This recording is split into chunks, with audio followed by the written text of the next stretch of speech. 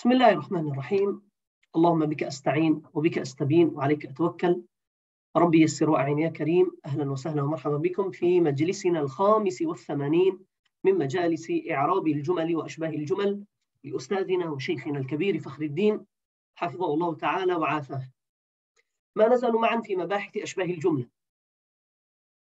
ونحن في البحث السادس من هذا الباب الكبير باب أشباه الجمل. وهو بحث ما لا يقتضي التعليق. وقد تكلمنا بإيفاء أوفيناه حقه إن شاء الله تعالى. تكلمنا على ما لا يقتضي التعليق من الظروف ومن الجار والمجرور. وقلنا إن الجار والمجرور لا يعلق في أربعة مواضع. إذا وقع نائبا عن الفاعل أو إذا وقع تابعا أو إذا هو إذا كان الجار والمجرور في محل نصب على الاستثناء أو إذا سقط حرف الجر فانتصب الاسم بعد حذف حرف الجر. وهنا شيخنا انطلق من هذه النقطة الرابعة وفصل كثيرا من القضايا. ونحن ما زلنا عند هذه النقطة وهي نقطة حذف حرف الجر وانتصاب الاسم بعد حذف حرف الجر. وكما تعلمون الاسم حينئذ ينتصب على النزع بالخافض يعني نقول منصوب بنزع الخافض. منصوب بنزع الخافض. منها هنا انطلق شيخنا في مسائل جزئية كثيرة. وما زال يفصلها. وبينا البارحة أنه إذا حذف الجار فلا يكون تعلق إلا في موضعين. أن يحذف الجار ويبقى عمله وها هنا عندنا قسمان أن يحذف ويبقى عمله قياسا أو شذوذا. والموطن الثاني أن يكون المتعلق خبرا محذوفا. كما فصلنا في مثل لابد أن تزورا. هنا لا نقول المصدر المؤول في محل نصب بنزع الخافض. بل نقول المصدر المؤول في محل جر والجار والمجرور متعلقان بخبر لا. لابد من أن تزورني. نعم. وكذلك تكلمنا عن الخلاف في المصدر المؤول بعد حذف حرف الجر. تكلمنا على مذهب الجمهور وما أجازه سيبويه وما حتمه الكسائي. وناقشنا البيت الذي اعتمد عليه الكسائي. وهو وما زرت ليلى أن تكون حبيبة إلي ولا دين بها أنا طالبه. طبعا كل الروايات فيها وما زرت سلمى. وهو أحد جبلي طيب. كل الروايات وما زرت سلمى. أما لي رواية ليلى فهي تصحيف أو تحريف. هي تغيير للبيت. وما زرت سلمى. والمراد أحد والمراد أحد الجبلين كما نصت عليه الرواية. طيب. وصلنا إلى الصفحة الخامسة والثلاثين بعد الثلاثمائة. نحن في الصفحة الخامسة والثلاثين بعد الثلاثمائة ونحن نتابع معا منهج الشيخ في الكتاب أنه بعد أن ينتهي من كل مبحث يذكر الآراء التي انفرد بها بعض العلماء في هذا المبحث. فهنا يتكلم على زيادة الحرف زيادة حرف الجر. فذكر آراء آراء انفرد بها بعض أهل العلم. منها قال وذهب نكبر لكم الخط قليلا. نعم. قال وذهب ابن قتيبة وابن مالك إلى أن على في قول حميد بن ثور أبى الله إلا أن سرحة مالك على كل أفنان العضاه تروق. هي زائدة للتوكيد. طبعا هو تكلم على حرف الجر متى يكون زائدا؟ بشروط. تكلمنا على مين الزائدة وتكلمنا على الباء الزائدة وهكذا. لكن هل تأتي على زائدة هكذا؟ قال هنا ابن مالك. وابن قتيبة قال على زائدة. والمعنى تروق كل أفنان العضاه تروق كل أفنان العضاه إذا على زائدة وكل مجرور لفظا منصوب محلا مفعول به. هكذا قال ابن قتيبة ومالك. قال الشيخ والحق أنها غير زائدة أن على ها هنا غير زائدة. لأنه يقال راق فلان على فلان إذا زاد عليه فضلا. والزعم بأن راق في البيت هو بمعنى أعجب ليس بشيء لأنه لا يكون به للبيت معنى. إذا على تأويل ابني قتيبة ومالك يكون المعنى أبى الله إلا أن شرحة مالك تعجب كل أفنان العظاه والأفنان جمع فنان وهو الغصن والعظاه شجر له شوك. فالآن ما معنى تعجب كل أفنان العظاه يعني لا محصل للبيت حينئذ. ولذلك الزعم بأن على هنا زائدة لا يصح بل هي على بابها أصلية والمعنى تفضل على كل أفنان العظاه أبى الله إلا أن سرحة مالك تفضل على كذا على كل أفنان العظاه نعم. طبعا وهذا مشهور من قصيدة حميد بن ثور وحميد بن ثور هنا كان بالسرحة عن المرأة حين منع سيدنا عمر من التصريح بذكر النساء فهو كان بالسرحة وهي الشجرة عن المرأة أبى الله إلا أن سرحة مالك على كل أفنان العظاه تروق. ماذا تعربون إلا؟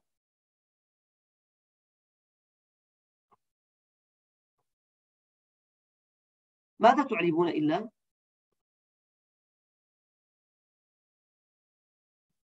نعم. ما رأيكم في إعراب إلا؟ حرف تحضيض إلا. ليس ألا ولا ألا ولا. إلا.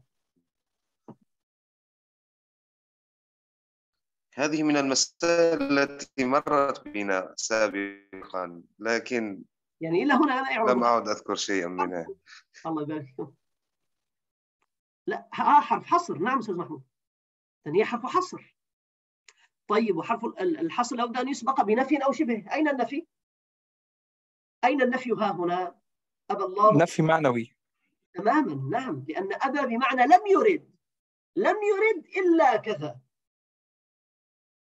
أبى الله إلا أن سرحة مالك لم يرد الله إلا كون سرحة مالك تروق على كل أفنان العظام هذا المعنى.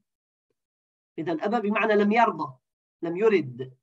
لا هنا ليس إعراب حرف استثناء ملغى وإنما حرف حصر.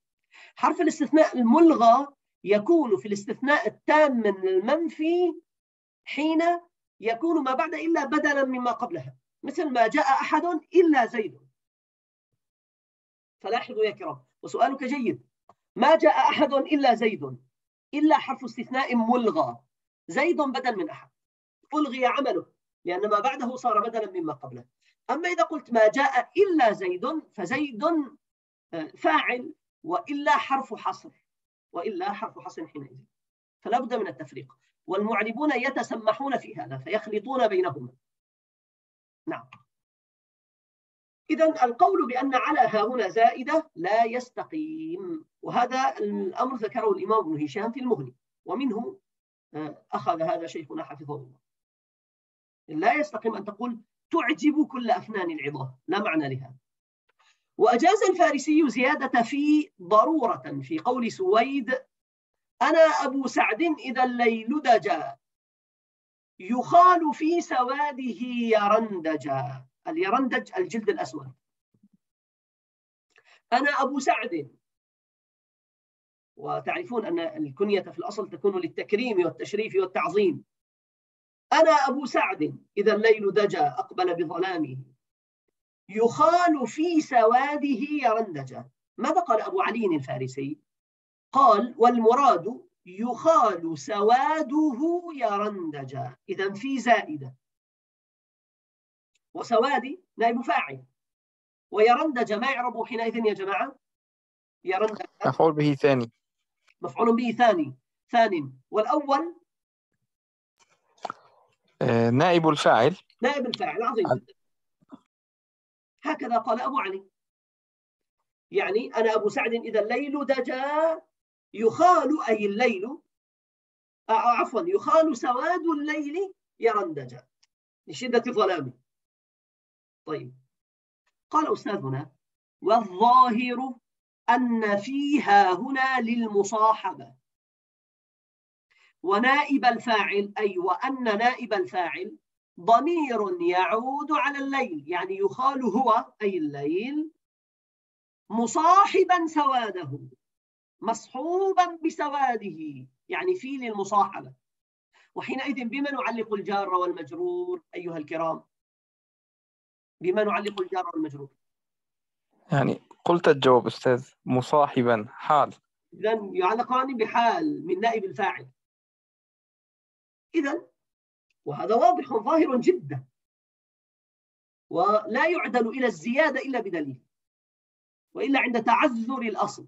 وهنا آه، الحكم على في بأنها أصلية غير زائدة ليس متعسرا ولا متعذرا. ففي حرف جر أصلي وهي للمصاحبة والجار والمجرور متعلقان بحال محذوفة من نائب الفاعل. يخال هو مصاحبا سواده يرندج وحمل بعض النحويين قول الله تعالى وقال اركبوا فيها على زيادة في لماذا حملوها على زيادة في يا جماعة؟ لأن المعنى اركبوها تماما. اركبوها أي السفينة. طيب. قال أستاذنا والأولى أن يضمن اركبوا مع ننزلوا أن يضمن اركبوا مع ننزلوا وقيل هو مضمن معنى ادخلوا ادخلوا فيها في السفينة. وقيل معنى سيروا سيروا في السفينة. طيب. بعضهم قال في ليست زائدة لكن المفعول محذوف. والمعنى اركبوا الماء فيها كما تعرفون ركب البحر وهكذا. اركبوا الماء كائنين فيها. يعني فيها حينئذ متعلقان بحال محذوفة من الفاعل من الواو. طيب. أستاذنا قال لا. والأولى أن يضمن اركبوا معنى انزلوا ادخلوا فيها إلى آخره. وهذا أولى من حمل في على الزيادة مع إمكانية الأصالة. طيب. وأجاز ابن جني في قول مليح بن الحكم. فما كان عن يومين حتى تصدعوا لبين كمن شق الرداء المصيح المشقق الممزق.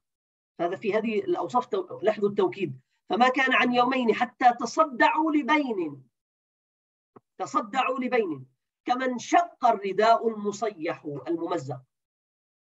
ماذا أجاز ابن جني؟ أجاز أن تكون عن زائدة. كأنه قال فما كان يومان. أي لم يمض يومان حتى تصدعوا. سؤال. بتأويل شيخنا يشير إلى شيء. على هذا عن يومين. كيف نعربهما إعرابا كاملا؟ كيف نعرب عن يومين إعرابا كاملا؟ على على رأي من؟ بناء على هذا التأويل. بناء على رأي ابن جني. والتأويل آه. الذي ذكره الشيخ. أي لم حرف يومان. عن حرف جر زائد نعم. ويومين مجرور لفظا مرفوع محلا أنه فاعل. فاعل أحسنتم. يعني فاعل لكان لأن كان هنا تامة يعني ما كان يومان ما مضى يومان حتى تصدعوا. طيب وحتى هذه ما حتى هذه يا كرام؟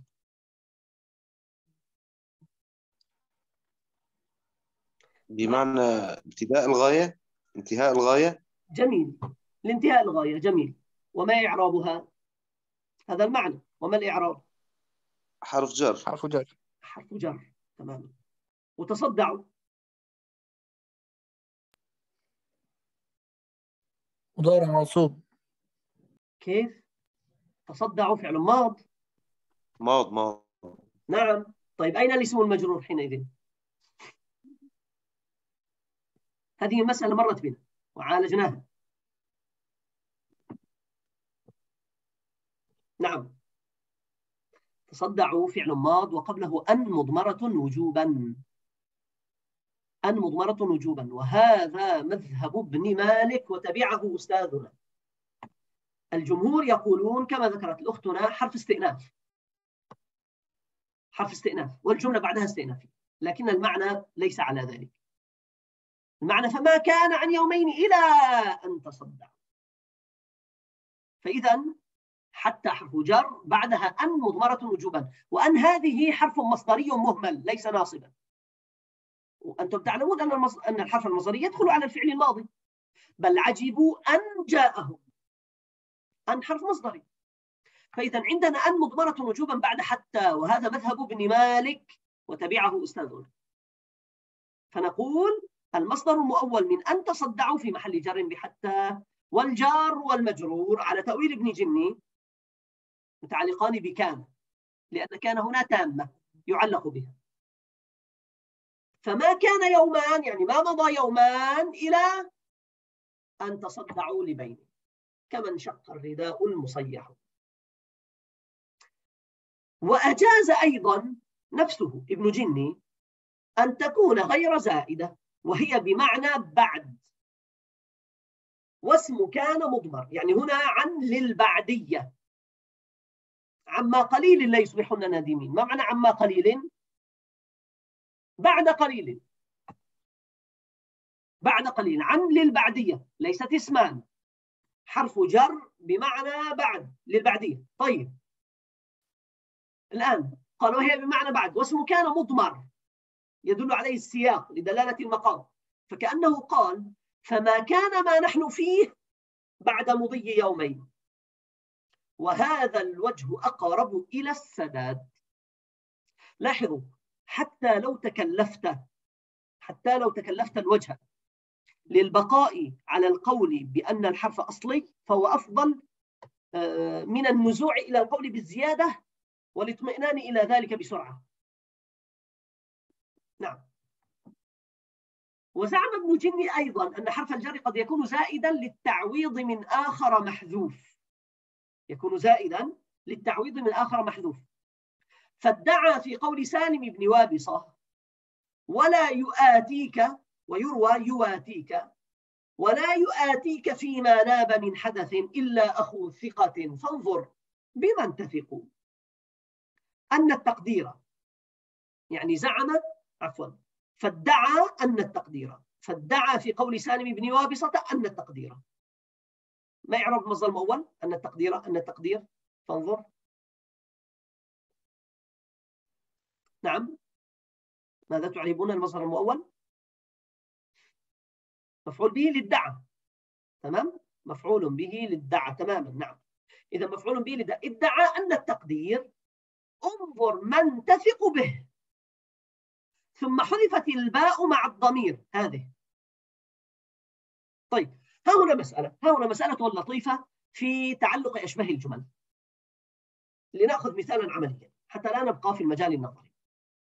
مع مفعول فيه ظرف للمصاحبة بماذا تعلقونه؟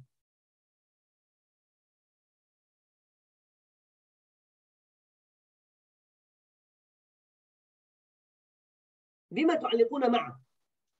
بحال من الباء. لما لا تعلقها بحذفت؟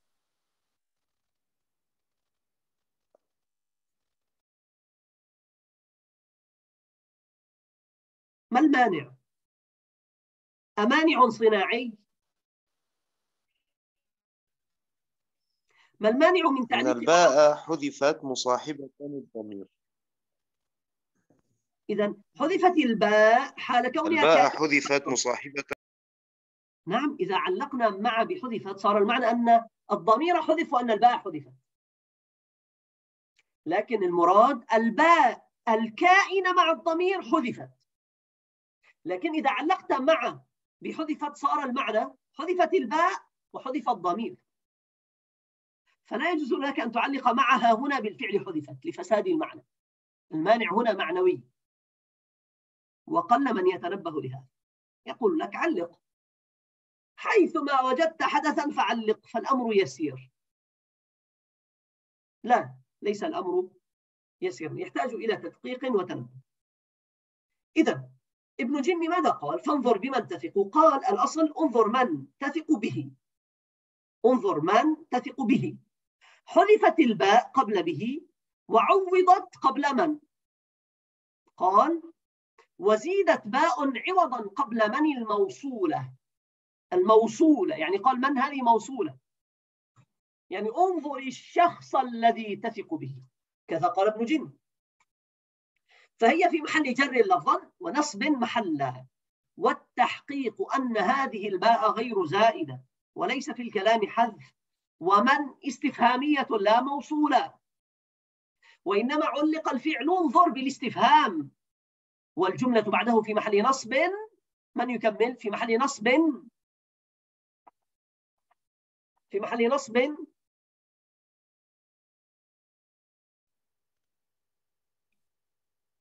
نعم. والجملة بعده في محل نصب. مفعول به؟ مفعول به فقط؟ أو سدت مسد سدت مسد مفعولين لأن انظر هنا المراد به نظر التفكر وليس نظر العين فهو فعل قلبي. سدت مسد مفعولي انظر. طبعا هذه المسألة مرت بنا في باب التعليق في الجملة الواقعة مفعولا به. عودوا إلى هذا البحث فيه تفصيل كثير. نعم ونقاش من الشيخ حفظه الله. وهذا البيت ذكره أيضا. ولا يواتيك أي لا يوافقك. ولا يوافقك ويكون معك فيما ناب من حدث إلا أخو ثقة. فانظر بمن تثق نعم.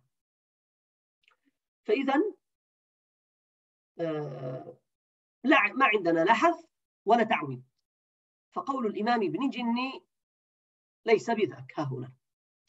قال وكذلك الحال في قول الراجز. إن الكريم وأبيك يعتمل إن لم يجد يوما على من يتكل. لأن من في محل جر بعلى. وعلق الفعل يجد بالاستفهام. وعلق الفعل يجد بالاستفهام. بيد أن ابن جني ذهب إلى زيادة على هذه عوضا من محذوفة. وجعل التقدير إن لم يجد يوما من يتكل عليه. يعني الكريم لا يمد يده إلى الناس وإنما يعمل ويكد ويكدح ويجتهد يعتمل إن لم يجد يوما على من يتكل. فقال ابن جني قال إن لم يجد يوما من يتكل عليه؟ طيب فحمل على على الزيادة. ومن؟ مفعول به ليجد. الشيخ قال لا الأمر كله على بابه. إن لم يجد يوما على من يتكل وعلق الفعل عن بالاستفهام والجملة سدت مسد مفعولي يجد لأنه فعل قلبي. وروى بيت زيد بن رزين كما يلي. ابن جني روى بيت زيد بن رزين كما يلي. أتدفع عن نفس أتاها حمامها؟ فهل التي عن بين جنبيك تدفع؟ وقال أراد فهل لا تدفع عن التي بين جنبيك؟ فحذف عن من أول الموصول حذف عن من أول الموصول. يعني عن مكانها أن تكون قبل التي. فهل لا عن التي بين جنبيك؟ تمام؟ قال فحذف عن من أول الموصول وزادها بعده والصحيح انتبهوا. والصحيح أن رواية البيت هي أتجزع النفس أتاها حمامها؟ فهل أنت عما بين جنبيك تدفع؟ إذا الرواية ليست هذه وإنما فهل أنت عما بين جنبيك تدفع؟ ولا حاجة إلى الحذف والزيادة حينئذ. طيب وحينئذ بما نعلق عما يا كرام؟ بما نعلق عما؟ بتدفع. بتدفع نعم. أي فهل تدفع؟ فهل أنت تدفع عما بين جنبيك. فهل أنت تدفع عما بين جنبيك. وبين بما نعلق بين؟ بفعل الصلة المحذوف. بفعل الصلة المحذوف. ممتاز. طيب ما محل المصدر المؤول؟ النفس أتاها حمامها.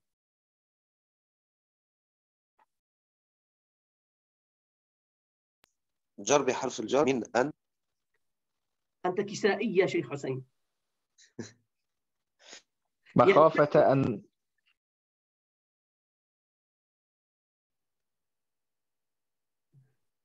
ما رأيكم؟ طيب نرى هنا المكتوب. بما نعلق؟ محل عفوا. مفعول لأجله. المفعول لأجله لا يكون مصدرا مؤولا. هذه فائدة. المفعول لأجله لا يكون مصدرا مؤولا يكون مصدرا صريحا. البارحة فرغنا من المسألة. من أن نفس أتاها؟ إذا النفس أتاها حمامها المصدر المؤول في محل نصب بنزع الخافض هذا قول الجمهور. يعني أتجزع لأن نفس أتاها حمامها. هذا قول الجمهور. طيب سيبويه. أجاز أيضا أن تكون في محل جر بحرف الجر المحذوف. الكسائي حتم أن تكون في محل جر بحرف الجر. طيب سؤال. النفس أتاها ماذا تعربون نفس أتجزع النفس أتاها حمامها؟ ماذا تعربون نفس؟ فاعل. لأي شيء. لفعل محذوف. تماما. أن حرف المصدري يلزم الأفعال. فنفس فاعل لفعل محذوف يفسره المذكور. والجملة من الفعل المحذوف والفاعل ماذا؟ الجملة تفسيرية. من... لا. الجملة من الفعل المحذوف والفاعل. صلة الحرف المصدري. صلة الحرف المصدري أن. وجملة أتاها حمامها. هذه تفسيرية. تفسيرية. طيب ما تقدير الفعل المحذوف؟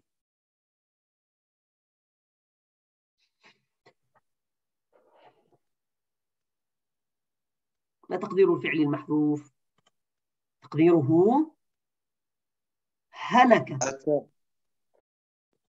أتجزع أن هلكت نفس أتاها حمامها وأنتم تعلمون أن التفسير لا يشترط فيه التطابق التام. قد يكون مقاربا له. وهذه المسألة فيها تفصيل.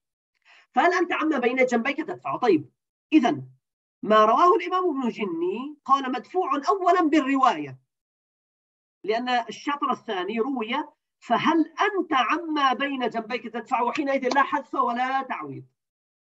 طيب على ثبوت الرواية هنا لاحظوا قال ولا حاجة إلى الحذف والزيادة. أما الرواية الأولى أي على فرض ثبوتها وقد وردت. هذه الرواية وردت يعني ليست خطأ بينا بل نقلها الإمام أبو علي القالي في أمالكه إن هي واردة. فهل التي عن بين جنبيك تدفع؟ قال أما الرواية الأولى فأخرت فيها عن للضرورة. لضرورة الشعر. يعني لعل الشاعر يعني أغلق عليه. فما عاد يستطيع أن يغير في البيت ويقدم فألقاه وورطنا فيه. نعم على حد قول سلفه الفرزدق علينا أن نقول وعليكم أن تتأولوا. ما لكم شغل؟ هاي شغلتكم يلا. نعم. أما الرواية الأولى فأخرت فيها عن للضرورة. انتبهوا الآن وربما استخدم النحاة مصطلح الزائد في غير معناه النحوي ولم يريدوا به أن الكلام مستغن عنه. لاحظوا يعني الشيخ حفظه الله تعالى يستوفي جوانب المسألة جميعها. فهو ذكر أولا مواطن آه، ما لا يقتضي التعليق ثم عرج على مسألة زيادة الحروف. ثم ذكر بعض الآراء التي انفرد فيها العلماء وناقشهم في هذا وذكر الصواب يعني لم لم يبقك في حيرة لم يجمع. وإنما جمع وناقش بالدليل العلمي. ثم ختم بهذه الفائدة المهمة. أحيانا يستعملون الزائد بغير معناه النحو ولم يريدوا به أن الكلام مستغن عنه. والحرف للتوكيد أو للتقوية أو للعوض. عفوا. أن الكلام والحرف أي وأن الحرف للتوكيد أو للتقوية أو للعوض. يعني لم يريدوا أن الحرف للتوكيد أو للتقوية أو للعوض. طبعا للعوض هذه على مذهب من؟ من الذي قال إن الحرف يأتي عوضا من آخر محذوف؟ ابن جني. ابن جني. نعم. قال ابن خالويه في إعراب أعوذ بالله من الشيطان الرجيم. بالله جر بباء الصفة وهي زائدة. بالمناسبة لا أدري ما معنى باء الصفة. آه كان عالقا في ذهني معناها من قبل لكن قد أنسيته. وأذكر أنني مرة من قديم قيدت هذا عن أستاذنا وقد سألناه في مجالس إعراب القرآن من قديم. نعم. لكن طال الأمد علينا فقست قلوبنا عن العلم. نعم؟ ممكن ممكن أن يقصد بالصفة الصلة لا. بالذي هو الله يعني؟ لا أظن هذا أستاذي لكن والله يعني الآن لا أستحضر شيئا فيها مع الأسف. فأنا إن شاء الله أرجع إليها. ويعني وكذلك أنتم تبحثون آه، وتخبرونني بالصواب. فإذا بالله جر بباء الصفة وهي زائدة. لأنك تقول الله فتسقط الباء. وحروف الزوائد في صدور الأسماء ثلاثة.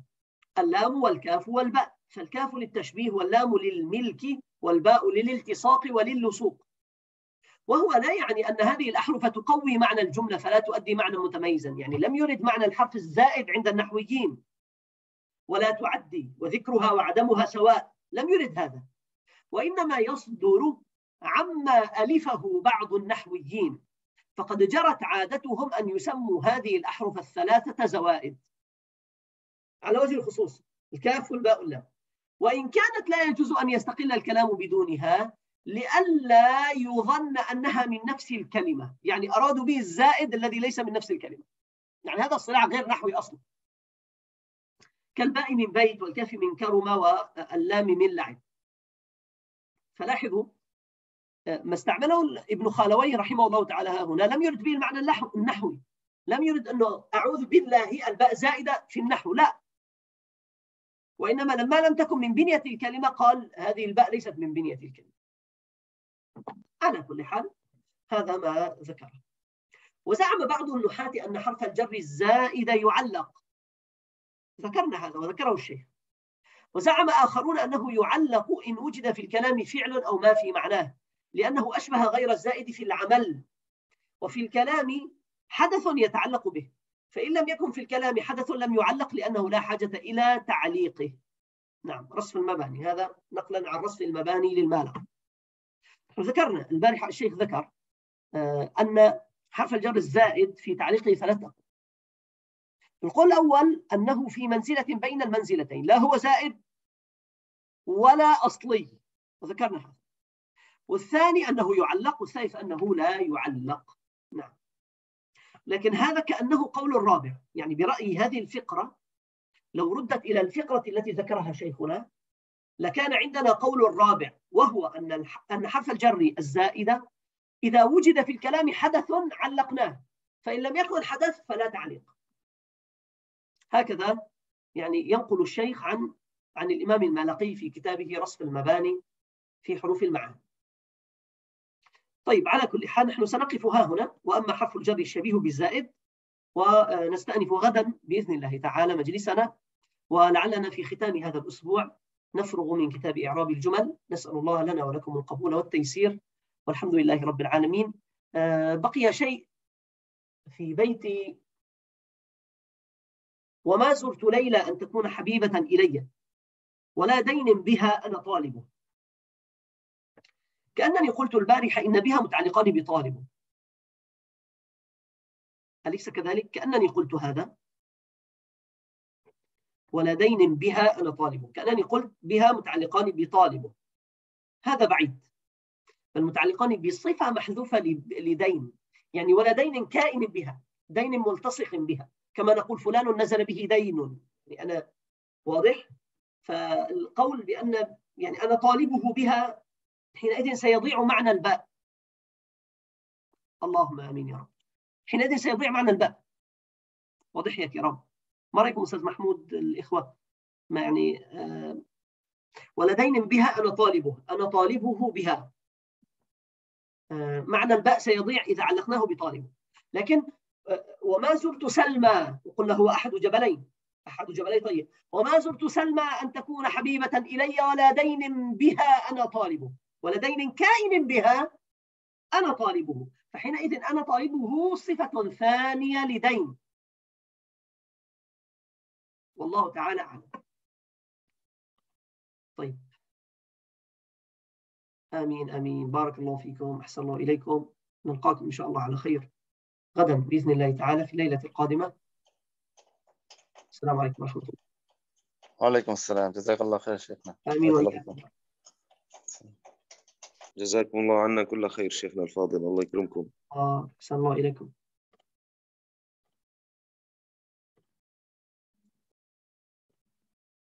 آمين يا رب.